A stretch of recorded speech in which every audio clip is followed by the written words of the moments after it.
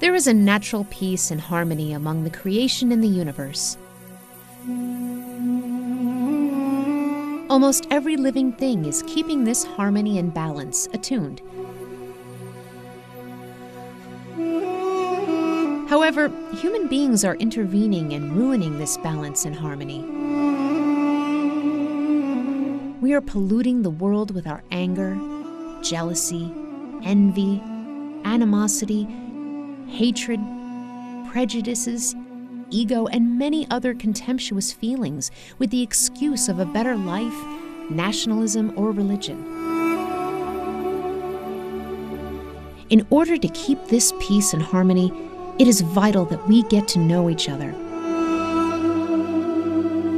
Knowing is the first step in the road leading to love and the peace that is to be practiced by the peacekeepers. Accepting everyone for who they are, having a chair for everyone in our heart. Open your heart so wide like the ocean. Become inspired with faith and love for others. Offer a hand to those in trouble, and be concerned about everyone. These virtue codes are from the Honorable Fethullah Gulen, Peace Islands Institute's source of inspiration and honorary president the recipient of East West Institute 2011 Peace Award. 2008 Forbes magazine's top intellectual, writer of over 60 books, an inspiration for millions of people from different walks of life.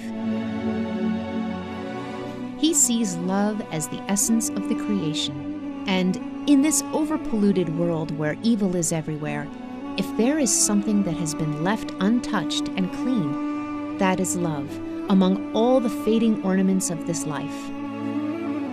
If there is a beauty that has preserved its magnificence and charm without fading, that is also love. We do believe in this immaculate love, which is embedded in the essence of humanity. Because of this trust, we have come to establish peace islands around the essential features of knowing and loving. Peace Islands is a place where peacekeepers live. Peace Islands Institute, PII, is a nonprofit organization that aspires to bring together different points of view. The central philosophy of PII is to unite voices using the spirit of mutual respect and acceptance. Peace Islands Institute's headquarters is located in Manhattan including branches in upstate New York, New Jersey, Connecticut, Pennsylvania, Massachusetts, and New Hampshire. The goal is to develop original and alternative perspectives on social phenomena as they relate to our lives by presenting explanations as well as solutions. By supporting successful practices, we can contribute to achieving world peace while creating realms of peaceful coexistence, or as we like to call them, peace islands.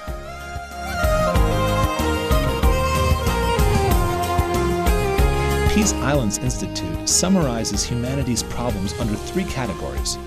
These are disunity, ignorance, and poverty. It offers four solutions unity, education, welfare, and progress. In order to actively engage in the problems and offer solutions, Peace Islands Institute establishes five centers the Center for Global Affairs. This envisions a future in which people work together to bring solutions to common global problems of humanity, such as climate change, ecological problems, conflict areas, environmental issues, global economy, and human trafficking.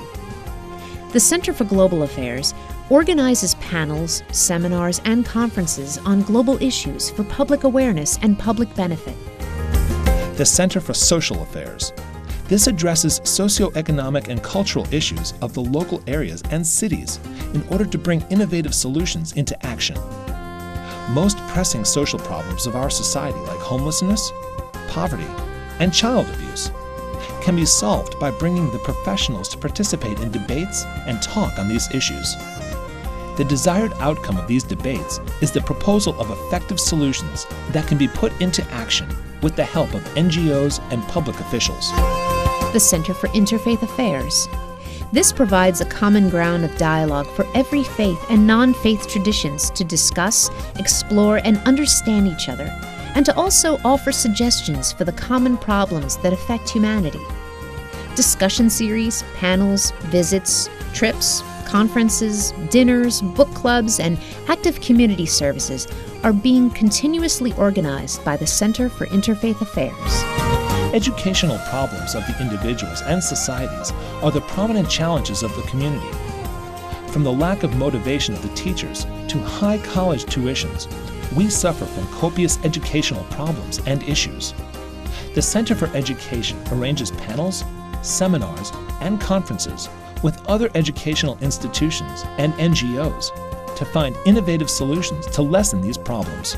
By bringing ideas and being part of the solution, CFE aims to uplift the quality of life. The Center for Media. This provides panels and seminars on media related issues with media professionals from both national and international spheres. Its efforts are dedicated to promote and support media literacy as a framework for accessing, analyzing, and evaluating the new media landscape. This helps citizens develop critical thinking and gain confidence to live life fully in the 21st century media culture. The Center for Media also provides an array of publications and printed materials for PII, such as books, reports, articles, and visual documentations. PII organizes many events. Here are some of them national and international conferences, panels, lectures, luncheons, ambassadors series, Senate talks, national and international trips, retreat programs, film screenings, Young Peace Builders projects, interfaith gatherings, Abraham's Table, and book signings.